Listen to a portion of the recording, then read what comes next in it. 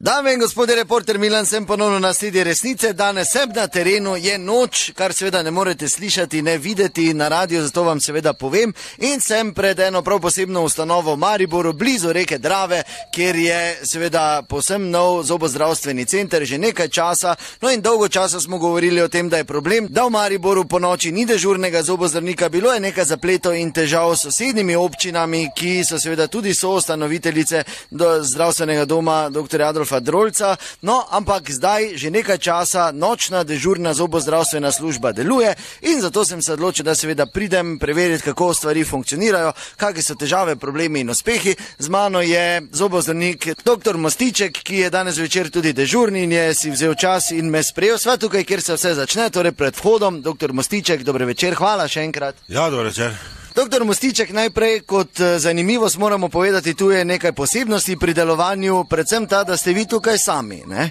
Ja, no, čist sam nisem, eh, najprej bi svoje vse lepo pozdravil in uh, uh, povedal, da to ni bistvo dežurna zobozdravstvena ambulanta, ampak nočni center orale, kot smo jo poimenovali, da ljudje bolj lažje se tudi orientirajo, nekje kaj. Uh, čist sam nisem, imam še tu varnostnika, po domače vratarja, ki pa če tudi neke vrste uh, moj asistent. A kar vratar, to pa je nov pristop, ne? Čute, kriza je treba malo tudi gledati ekonomsko prihraniti, ampak morate vedeti, da je eh, ta vratar, dva imamo taka, se smeni menjavata. Eh, Bi so že kar malo zobozdravnika, namreč oba vratarja smo poslali v Hamburg na ta eh, najbolj znani hitri tečaj zobozdravstva. A to celo obstaja, kaj to pa zdaj slišim prvič, pa verjetno še marsikdo drug tudi, ne? Ja, to je tako imenovani ABC Denta.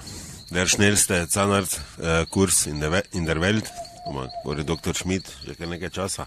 O, to pa je res zanimivo, abecedenta. Ja? Že na samem vhodu je prvo sito. Samo malo, samo malo. Ja, moment, moment. Aha, torej prvi pacijent danes večer tukaj že eh, slišimo. Ja, kam ne grem, kam, kam vam stopiti? Naprej, naprej, ker stopite, pa pozvonite, tu pri vratih. Ha, zdaj bo gospod pozvonil in vratar se bo oglasil oziroma varnostnik. Ja, kaj bi rad? Ja, žup me boli. Izkaznico, najprej not potrjeno, porini. Kaj si ne pismen, kaj si? Ker je zob? Ja, tu levi. Kak levi, kak levi, kaj imaš en zob, ali kaj imaš dva levega, pa desnega? Ker je zob, mi povej, tvoja leva, moja leva. Moja leva, spodaj. Ja, ker je zob. 4, 5, 6, imaš modrostnega, kaj imaš jasni se? Ja, ne vem, samo že vse boli.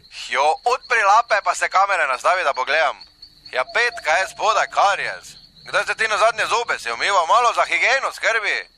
No, odpri, zdaj.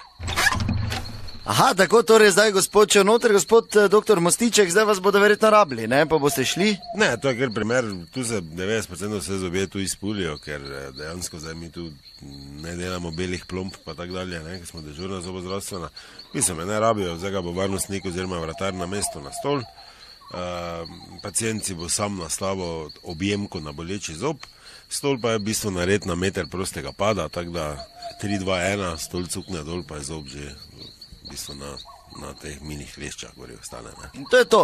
Ja, to je to, pol ga še malo popivnamo s to gazo, pa mu zaželimo lahko nočne. Ja, hvala lepa, dr. Mostiček, obilo uspešnih eh, primerov in dobrega dela po noči vam želimo. To je bila še ena resnica, do naslednjič ne pozabite, resnica ni plenica, pa vendar marsikomu smrdi. Čuješ, mostiček? Daj pri pogledati, meni zdaj nisem pravega, vun cukno.